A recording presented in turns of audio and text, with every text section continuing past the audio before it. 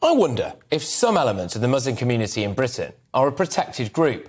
For years, police forces and politicians tripped over themselves to not reveal the true extent of the grooming gang scandal because it didn't want to stoke racial tensions. Another way of looking at this is that it actually protected predominantly British Pakistani rape gangs from the public and, for a period of time, prosecution. People suffered as a result of that. I wonder whether or not this is happening all over again now with the Prevent programme. Prevent is a scheme designed to stop people becoming radicalised, but it's alleged that some groups who receive taxpayers' money are part of the Prevent scheme and are actually promoting extremism. Shock horror.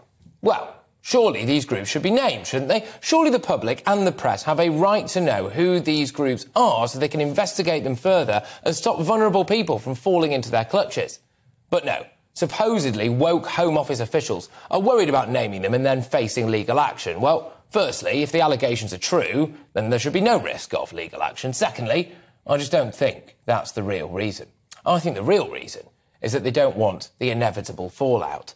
They would be accused of racism and of demonising the Muslim community at large. There would be protests. It would kick right off.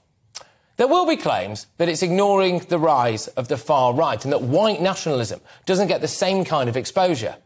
That's just nonsense. Everybody knows that far right extremism is on the increase, and that gets reported all the time.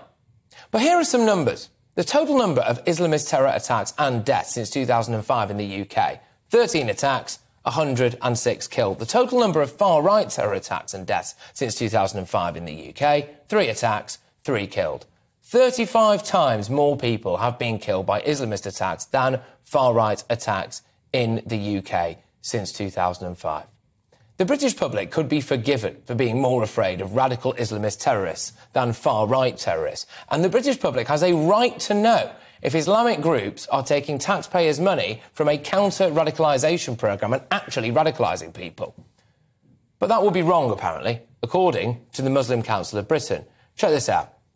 Media spokesperson of the Muslim Council of Britain, Miqdad Versi, criticised the report, which is yet to be published, by the way, Michael Gove and its author, William Shawcross, for trying to refocus Prevent on Islamism rather than the far right. He and others have also criticised the report for supposedly trying to implicate names and organisations for promoting extremist narratives and have suggested this is an, get this, infringement upon free expression.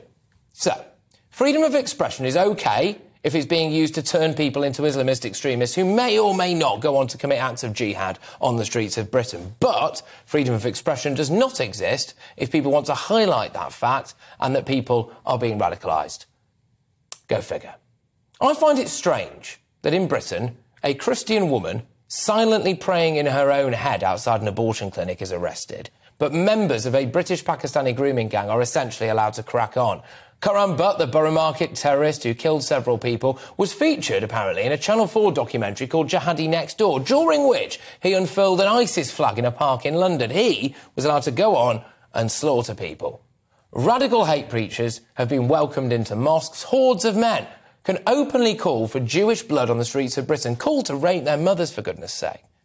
If the independent report into Prevent reveals that some Islamist groups have been taking taxpayers' money and continuing to promote radical extremism.